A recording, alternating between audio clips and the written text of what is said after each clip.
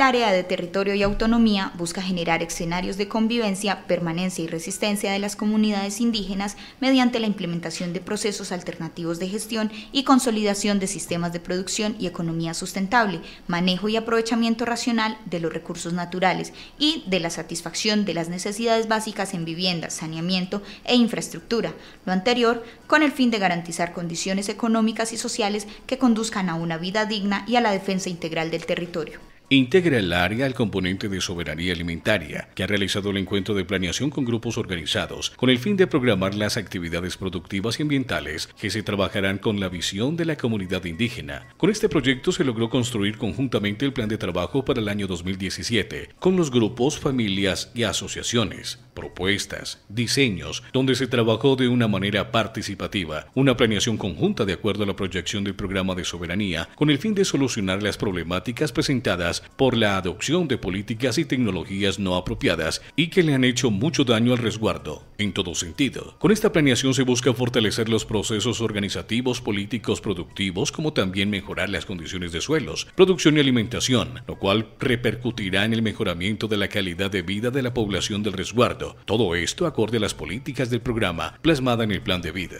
Son 113 los beneficiarios, personas integrantes de las asociaciones, grupos y familias del programa de soberanía alimentaria de las 32 comunidades del resguardo. Se contó con el acompañamiento de la Universidad de Caldas con el taller de efectos del calentamiento global y alternativas de mitigación del mismo. Con la participación de productores indígenas en mercados agroecológicos y ferias de semillas que sirvan para el intercambio de productos, saberes y semillas. Por el municipio de Supía se realizaron dos ferias como tal, en Guamal, agrupando las comunidades de San Cayetano, Santa Ana, Santa Cruz y San Marcos. En Brasil, con la participación de comunidades como Cameguadua, Dos Quebradas y Tizamar. Cuatro mercados agroecológicos, tres en el municipio de Supía en la Plaza de Mercado, uno en el municipio de Río Sucio en el Parque de Banderas. Para lograr el establecimiento de una hectárea de arroz secano bajo un sistema agroforestal dentro del territorio, se brindó a los beneficiarios un incentivo económico, 250 mil pesos para la preparación total del terreno y recibir de los insumos, 150 mil pesos para la utilización total de los insumos entregados por parte del programa de soberanía. Además, 100 mil pesos para el aprovechamiento del espacio con la siembra de otros cultivos que serán utilizados para el consumo de la familia, realización de actividades de manejo y conservación del suelo. Este es un proyecto que está en su etapa de ejecución por el municipio de Supía. A estas familias, además, se les apoyó con gallinaza, cal, roca, árboles frutales y cítricos, colino de plátano, colinos de piña, semilla de maíz, frijol y arroz, que se les fue entregado a estas mismas personas se logró el establecimiento de 1.5 hectáreas de frijol bajo sistema agroforestal para siete beneficiarios en las comunidades del resguardo por el municipio de Supía, entregándoles un total de 350 mil pesos como incentivo. Este proyecto está en su etapa de ejecución y a las familias se les apoyó con gallinaza, cal, roca, árboles frutales y cítricos, colino de plátano, colino de piñas, semillas de maíz y frijol. Se adjudicó el proyecto para el establecimiento de dos hectáreas y media de frijol bajo sistema agroforestal para 12 beneficiarios en las comunidades de Portachuelo, La Tolda, Paneso, La Iberia, Miraflores, Aguacatal, El Rodeo por el municipio de Río Sucio, se está pendiente de que el contratista empiece la ejecución del proyecto. Bajo este mismo sistema se estableció una hectárea de maíz para cinco beneficiarios de las comunidades de San Marcos, San Pablo y Santa Ana y una hectárea en plátano para cinco beneficiarios de las comunidades Santa Cruz, San Marcos, Dos Quebradas, Alto y Bajo Sevilla, garantizándoles un incentivo económico e insumos para sus proyectos agrícolas. Se realizaron 10 jornadas de esterilización al interior del resguardo, por los municipios de Supía y Río Sucio, donde se atendieron 220 animales. Por Supía, Comunidad de Dos Quebradas, Alto Sevilla, Guamal, Santa Cruz y San Pablo. Por Río Sucio, Empaneso, El Palal, Miraflores, Tabullo y Cañamomo. Se ha podido avanzar en el acompañamiento a 205 familias con apoyo técnico, en diagnóstico de establecimiento de parcelas diversificadas, en la elaboración de diseño para huertos diversificados, sistemas agroforestales, capacitaciones en elaboración de biopreparados para fertilizantes y control de plagas y enfermedades, capacitación en siembra de semillas, manejo de suelos por medio de terrazas, barreras vivas, mejoramiento de cultivo de plátano, maíz, caña, frijol, manejo de cultivos de cacao, cítricos con podas e injertaciones, diagnóstico de enfermedades, entre muchas otras capacitaciones. También se ha realizado la entrega de semillas de maíz, frijol, hortalizas y plantas medicinales a las familias de las comunidades de resguardo, con fin de mejorar las condiciones de alimentación y de salud de los comuneros. Acompañamiento a familias en acción. Se ha venido acompañando a estas familias con el fin de dar a conocer, motivar, promover la producción de alimentos sanos que mejoren la calidad de la alimentación de los niños y la familia en general, mejora la diversidad de las parcelas y la protección y conservación de las semillas propias, como también en la capacitación en la entrega de semillas, siembra de hortalizas y otros, y de esta forma mejorar la calidad de la alimentación de todo el territorio. Se ha venido realizando el acompañamiento a la Asociación de Pequeños Cacaoteros del Resguardo, la cual hemos podido vincular al proceso de alianzas por medio de las alcaldías de Supía y Río Sucio, cultivo que se adopta como apoyo a la economía familiar por ello, el afán de la organización en fomentar una mejor comercialización con diferentes aliados. De igual forma, se viene realizando acompañamiento a la asociación ASI Prócalo, directamente con el apoyo técnico por parte de una agrónoma, con el apoyo de Citicaldas y Asofrucol. Allí directamente mejoran las labores culturales como podas e injertación, trampas para el manejo de plagas y enfermedades y mejorar los planes de fertilización que mejoran la producción del cultivo. También a las mingas, reuniones y seguimiento con el fin de contribuir a su mejoramiento se ha venido realizando el acompañamiento a la institución educativa La Iberia para realizar trabajos demostrativos que sirvan como un referente en la parte productiva y que motive a otras instituciones, estudiantes y familias que fortalezcan el proceso de soberanía alimentaria en el resguardo.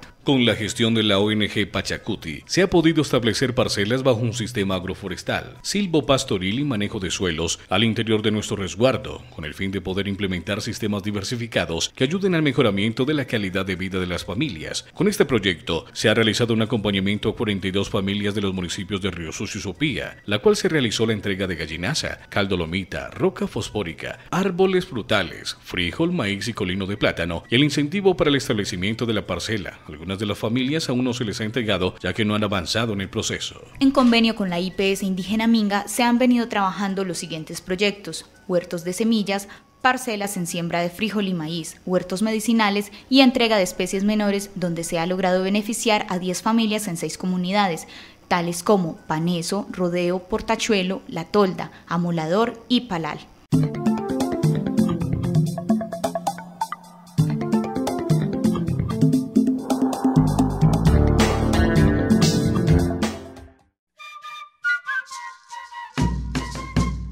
Dentro de las zonas productivas Granja de la Rueda, Piñuelo y Pangola se ha venido haciendo el correspondiente mantenimiento concerniente a cada uno de los cultivos establecidos allí de acuerdo con los recursos asignados a cada uno de estos. En estas granjas se tienen cultivos establecidos de cacao, caña panelera, cítricos, pasturas y pancoger, los cuales se han intervenido con las correspondientes de hierbas, plateos, desojes, podas, cosechas y fumigaciones, ya que se han tenido inconvenientes con el factor clima, dado que en estos últimos meses se han tenido precipitaciones de lluvias más de lo normal, en lo que estaba afectando el cultivo de cacao y cítricos, lo que hizo que se consultara con un técnico para contrarrestar el inconveniente de moniliasis en la mazorca del cacao.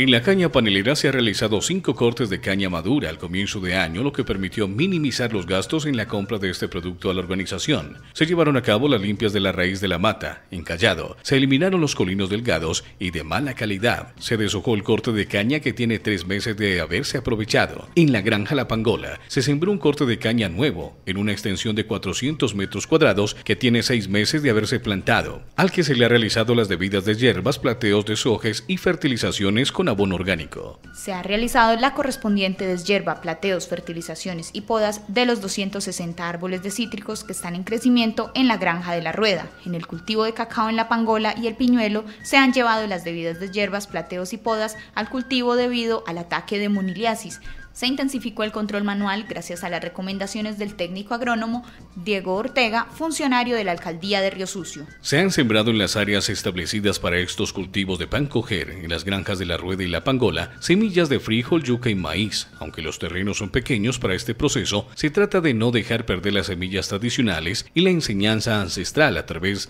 de las fases lunares.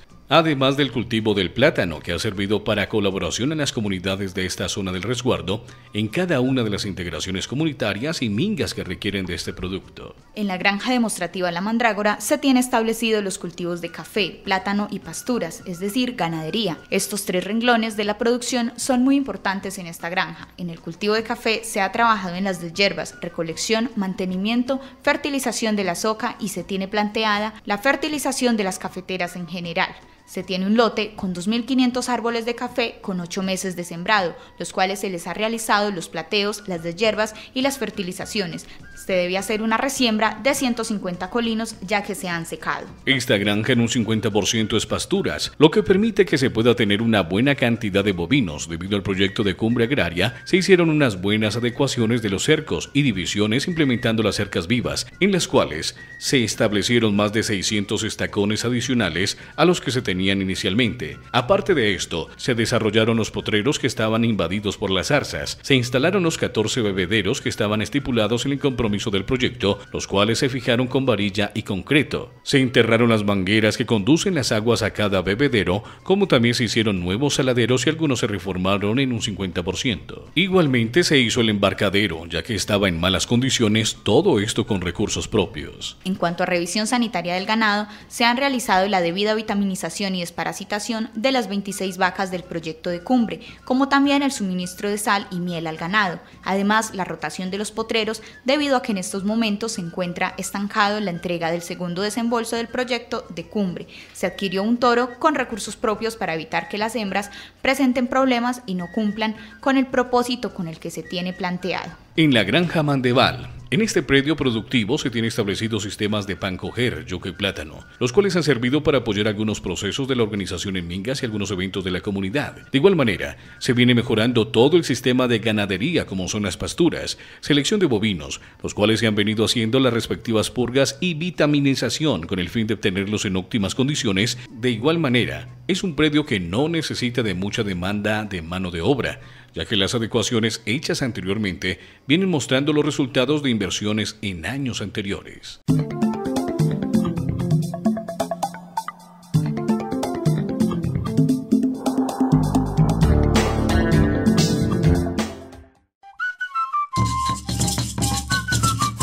La Casa de las Semillas, con el apoyo de Suisei y Semillas de Identidad Colombia, es un referente importante para el resguardo Cañamomo Loma Prieta en la consolidación de la red para esta región, principalmente en Mistrató y Belén de Umbría. Cañamomo firma directamente el convenio para la red de Risaralda y Quindío. Se conforma con 25 custodios que ya hacen parte de esta. Se aprobó un convenio donde se apoyarán los custodios con la implementación y capacitación en el manejo de abejas meliponas para 25 personas. En el marco de la Asamblea de Custodios se realizó una campaña de siembra de diferentes maíces, con un total de 45 kilogramos en diferentes comunidades. Realización de un diplomado en San Lorenzo para la declaratoria como territorio libre de transgénicos de ese territorio. Se realizó pruebas de contaminación transgénica. Con un convenio de la ONEC se encontró una muestra contaminada, e igual que la variedad de semillas IKB 305 se realizaron 45 pruebas en todas las comunidades de nuestro resguardo. Se realizó gestión de recursos con la Corporación del Departamento para apoyar los ensayos de hortalizas y multiplicación de semillas en Supía. Gestión con Sol de Paz Pachacuti para la implementación de 10 sistemas para la recolección y distribución de aguas. Realización de mingas como excusa para encontrarnos. Participación de 25 personas. Se trabajó con la conexión de agua para la señora Enoe Cataño. Realización del segundo encuentro nacional de territorios libres de transgénicos para definir las acciones a nivel nacional frente a la contaminación de los maíces en Colombia. Se contó con la participación de 60 personas de diferentes regiones del país. Elaboración de los protocolos para la producción de semillas de hortalizas para la elaboración de un manual didáctico en hortalizas como lechuga, zanahoria, tomate, cilantro y habichuela arbustiva. Las personas de resguardo que requieran las semillas para la soberanía alimentaria es la población directamente beneficiada. Implementación de los ensayos para la producción de semillas de hortalizas, habichuelas arbustivas, este se está realizando en las parcelas de la señora Senoe Cataño y Sonia Cañas. Implementación de los ensayos para la producción de semillas de hortalizas como zanahoria. Este se está realizando en la parcela del señor Jesús Bedoya. Implementación de los ensayos para la producción de semillas de hortalizas lechuga. Esta se realiza en la parcela de Isabel Bañol del resguardo de la montaña. Implementación de los ensayos para la producción de semillas de hortalizas tomate. Este se está realizando en la parcela de María Belma Chavarría. Implementación de ensayo hortalizas de cilantro. Esta se realiza en la parcela de Silvia Guerrero. Entrega de semillas para el proyecto de cumbre agraria. Se entregaron 6.6 toneladas de semilla de caña blanca, 25 kilogramos de arroz secano, 32 kilogramos de maíz amarillo y 32 kilogramos de frijol limoneño. En total se beneficiaron 30 familias de este proyecto.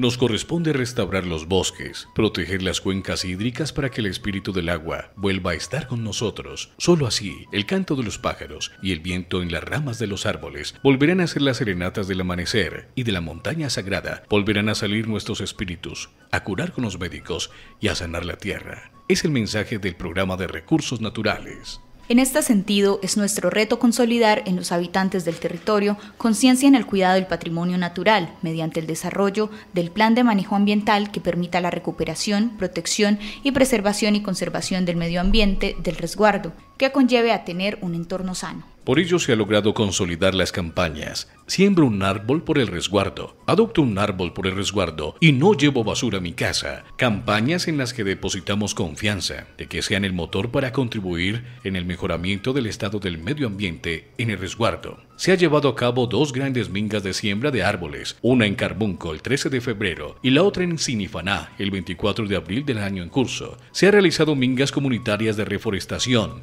en la comunidad de San Cayetano, Tumba Barreto, Amolador, Santa Ana, Portachuelo, entre otras. A la fecha, se han sembrado 25.273 árboles. Se promueve la adopción de árboles para su mantenimiento nos vinculamos a la celebración del Día Mundial del Medio Ambiente fundando la campaña No llevo basura a mi casa, que busca concienciar a las comunidades sobre el cuidado del medio ambiente y la necesidad de vincularse con acciones simples como las de evitar llevar basura al resguardo y sacar de manera permanente y clasificada la que por necesidad llevamos. Se ha desarrollado la georreferenciación de las áreas de reservas forestales en los nacimientos y fuentes de agua en las 12 comunidades del municipio de Supía pertenecientes a nuestro resguardo. Se ha visitado dichas comunidades, allí se ha hecho el levantamiento en GPS de la información del perímetro de los predios y se ha sistematizado esta información. Se realizan las labores de mantenimiento y sostenimiento permanente de los árboles sembrados en la campaña Siembra un árbol por tu resguardo en el Cerro Sagrado de Carbunco y La Mandrágora. Ya se cuenta con un contrato adjudicado para este fin. Se fortalecen las juntas de acueducto, comités ambientales y otros grupos organizados en el tema ambiental de resguardo, con el fin de que desarrollen acciones operativas al cuidado del medio ambiente. Se viene acompañando por parte de todo el equipo del programa las juntas de los acueductos comunitarios, a la planeación y fortalecimiento organizativo de los comités ambientales y está en ejecución un contrato para realizar las asambleas de representantes e integrantes de estas instancias. Se avanza la instalación de las franjas de protección ambiental en quebradas, ríos, en áreas de interés ambiental para el resguardo. Se han instalado 428 metros de franja amarilla de aislamiento, reserva forestal y nacimiento de agua que abastece el acueducto Portachuelo, área perimetral 6.280 metros cuadrados. Está en proceso de contratación 2.700 metros de franja por el municipio de Río Sucio y se espera de una eventual asignación en el municipio de Supía para avanzar en ese propósito. Se gestionó 88.278.484 pesos a través del programa de pequeñas donaciones del JEF, Iniciativa Global de Apoyo a los Territorios y Áreas Conservadas por Comunidades Locales y Pueblos Indígenas TICA, proyecto con el cual se logrará el fortalecimiento del gobierno y visión propia en torno a los espacios naturales del territorio. Se apoyó la gestión de suministro e instalación de ocho reservorios en geomembrana por un valor de 80 millones de pesos. En torno a los convenios establecidos entre el resguardo y Corpo Caldas, destacamos problema de desprotección de microcuencas y la deforestación de resguardo, elaboración de la línea base, diagnóstico de nacimientos de agua, diagnósticos de flora y fauna, diagnósticos de uso de suelo, aforos, diagnóstico de población, diagnóstico de actividades económicas, de equipamiento colectivo, de la calidad del agua, de inventario de áreas de reserva de protección, diagnóstico del clima. elaboración de cartografía, identificación de problemáticas ambientales, elaboración y ejecución del plan, fortalecer la campaña de siembra y adopta un árbol por el resguardo, implementación de los sistemas de descontaminación, plantas de tratamiento de aguas residuales, avanzar con el establecimiento de las franjas protectoras de las áreas forestales y las fuentes de agua.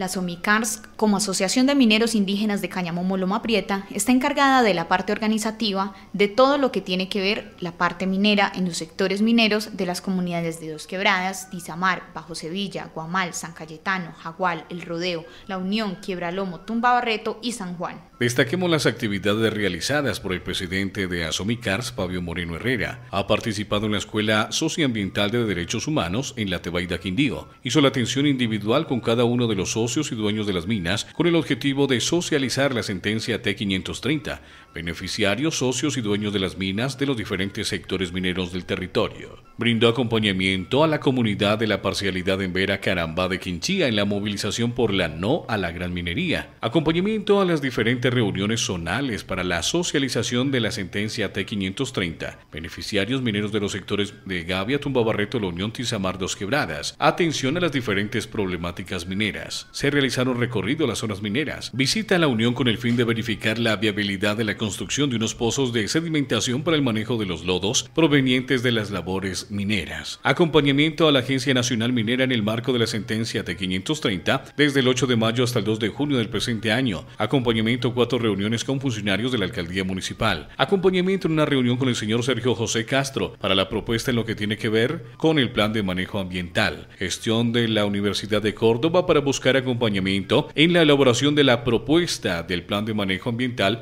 en el marco de la sentencia T530. Atención y acompañamiento a estudiantes de la Universidad Nacional para documentar de un video de la minería dentro de nuestro territorio. Acompañamiento taller con el Servicio Geológico de Cali para mirar la propuesta de caracterización de la mineralización de los sectores mineros de Gavia, La Unión, Tumba Barreto y San Juan. Desde la Secretaría General de la Asociación se ha acompañado cuatro reuniones con Junta Directiva, acompañamiento en 26 reuniones con socios y dueños de las minas de los sectores mineros de Gavia, Barreto y La Unión, elaboración de las diferentes relatorías y actas de todas las reuniones que tienen en el proceso minero, elaboración del listado de todas las minas que hacen parte de Asomicars para enviar a la Agencia Nacional de Minería para el censo minero que se realizará en el marco de la sentencia T530 destacamos en acciones ambientales el mantenimiento del vivero, por parte de los dueños, socios y trabajadores de las minas sector San Bartolo y Alto San Juan. Se cuenta con 2.000 bolsas en el vivero para la siembra de semillas que se pretenden entregar para reforestar el sector de San Bartolo. En el sector de la Unión, Asumión siembra 955 árboles en la comunidad de la Unión cuyo impacto es mejorar la reforestación en la zona y mejorar la calidad de vida. Realizaron donación de 100 árboles a la institución educativa de Río Sucio, las cuatro sedes de la institución, fomentando entre los estudiantes el amor y el respeto por el medio ambiente.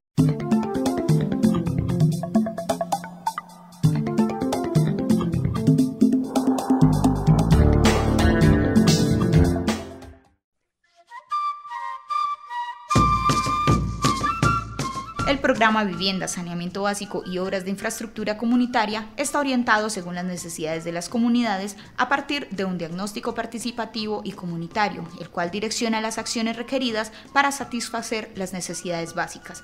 De esta manera, tratamos de abordar la política de planificación participativa y sustentable del territorio. Desde el programa se ha podido presentar de manera oportuna los diagnósticos y presupuestos requeridos para el mejoramiento de vivienda y obras de infraestructura de las 32 comunidades de resguardo, asignar los recursos económicos pertinentes proyectados desde la organización Cabildo, liderado por la gobernadora y Consejo de Gobierno, con el propósito de mejorar la calidad de vida de los comuneros, ejecutar de manera ágil y oportuna los proyectos de obra asignados para cada comunidad, hacer seguimiento y entrega de obras a plena satisfacción del beneficiario y a la comunidad en general se han ya ejecutado los mejoramientos de vivienda de la vigencia 2016 durante este año. En la comunidad de la Iberia, cuatro beneficiarios, Aguacatal 2, Pulgarín 8, Cipirra 5, Tumba Barreto 12, La Unión 3, Quiebralomo 4 y en ejecución en la comunidad de Planadas 6, para un total de 44 viviendas mejoradas al interior de nuestro territorio. Durante este año se han ejecutado las siguientes obras comunitarias. Adecuación de Casa Finca de La Pangola, con pintura, cielo raso y estructura del techo. Adecuación del Centro Cultural de San Juan, con pintura y pisos. Adecuación de baterías sanitarias y pintura en Escuela de Amolador. Adecuación Restaurante Escuela de Pulgarín, pintura y puertas. Adecuación del Centro Cultural de la Comunidad del Rodeo. Construcción de tres transversales en la Comunidad de Planadas. Realización de diagnóstico con personal de resguardo en vías y alcaldía en la vía Cipirra Portachuelo para proyecto de mejoramiento de la misma. En el cantarillado, saneamiento básico y agua potable se destaca proyecto para reparación de baterías sanitarias en institución educativa Quiebra Lomo, la cual está en proceso de adjudicación.